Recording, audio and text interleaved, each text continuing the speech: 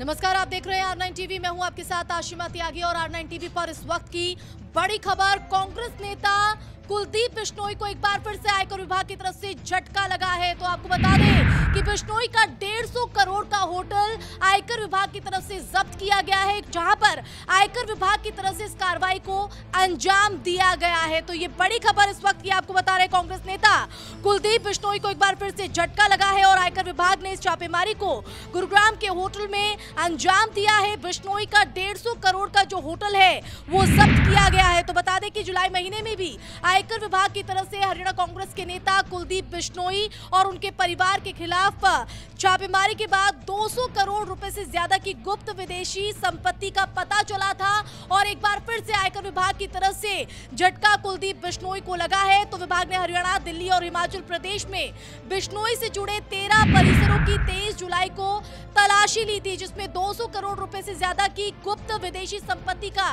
पता चला था। और अब आयकर विभाग की तरफ़ से गुरुग्राम के होटल पर बिश्नोई का जो है शिकंजा कसा गया है। डेढ़ सौ करोड़ का ये होटल है जिसको आयकर विभाग ने जब्त कर लिया है। बाकी खबरों की अपडेट्स के लिए आप जुड़े रहिए आर नाइन टीवी के साथ।